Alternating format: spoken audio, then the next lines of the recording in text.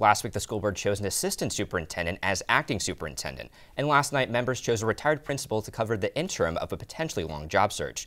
Now, it may sound like a routine procedure, but the audience was emotional. Kelly Griswold was there last night and joins us now from the WUFT Newsroom. There was a mixed reaction to the selection of Sandy Hollinger. Supporters called it a vote for experience, while critics suggested the choice is not very forward-looking. Many people are still looking back on the board's decision to accept Owen Roberts' offer of resignation rather than his offer to work to regain trust. And when some look forward, they're not talking about a replacement superintendent, they're talking about replacing board members. Show us the numbers of the people who voted against the superintendent and for the superintendent. And then you vote accordingly. A hostile crowd watched the Alachua County School Board pick an interim superintendent.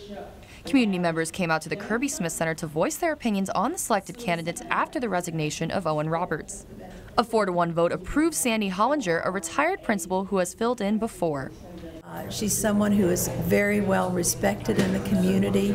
She has filled the role of an interim superintendent twice before in the past. She is definitely the most experienced person of the people who were suggested. The crowd seemed frustrated with the board's handling of Roberts and the interim selection process. Well, the school board in general, it's just time for the change. And at this point, we wouldn't care if Mickey Mouse was running. We would vote for Mickey Mouse over Miss Eileen Roy again. Some say the votes appeared predetermined, with the board giving little weight to opinions expressed by community members attending meetings.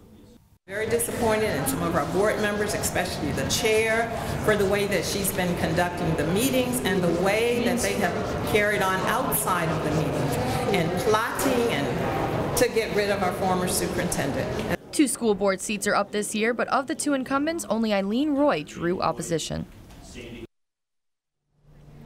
Sandy Hollinger was not in attendance last night and her employment contract has yet to be approved by the school board.